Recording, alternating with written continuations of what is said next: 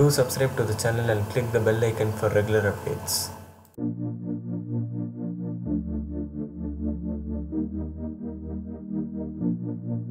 you.